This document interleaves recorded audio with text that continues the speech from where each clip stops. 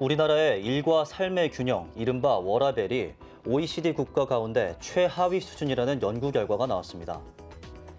강서대학교 노혜진 조교수 연구팀은 노동시간과 가족시간 두 가지 영역을 점수화한 결과 우리나라는 모두 OECD 국가 가운데 하위권을 기록했다고 밝혔습니다. 노혜진 조교수는 일과 생활 균형 보장을 위해 노동시간 차원에서 시간 보장을 위한 노력이 시급하다고 전했습니다.